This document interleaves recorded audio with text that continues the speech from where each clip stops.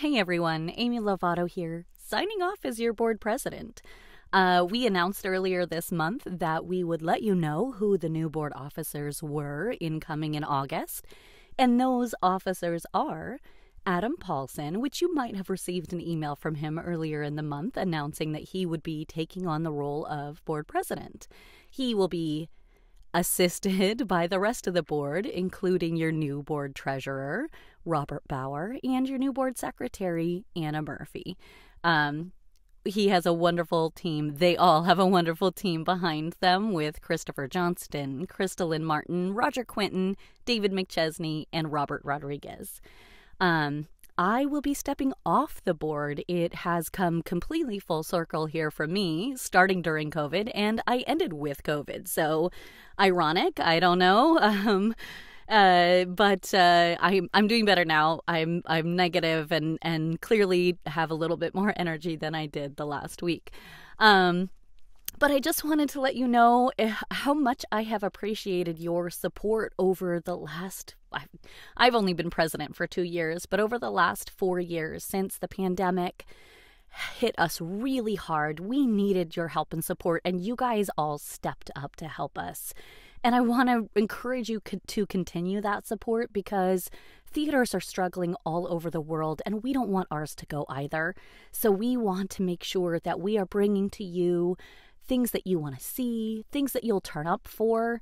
Um, if you can't show up, donations are always welcome. I don't think any nonprofit will ever say otherwise. If you don't have the money to donate, share share on social media share what we have coming. Tell your friends tell your neighbors.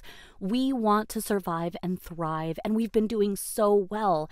But let's continue that let's continue that momentum. Let's let's bring more. And i think with a team of fully local members as your board officers that is just really going to do the trick. Because i living in rohnert park working in san anselmo and trying to run the theater, that was too much. So I am going to take a step back, take a step down, and help behind the scenes a little bit for whatever needs helping. I will always support the Cloverdale Performing Arts Center. I love it.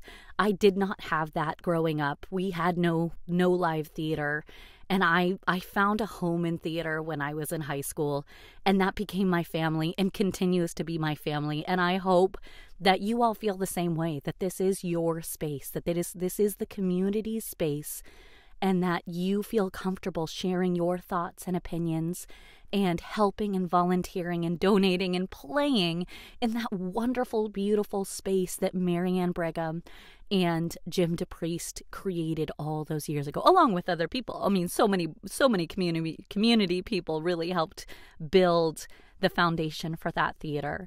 And um, and let's just keep it going, keep it going. I cannot wait to see where Adam and the rest of the board take Cloverdale Performing Arts Center and I will be there supporting along the way. So thank you so much for the past four years.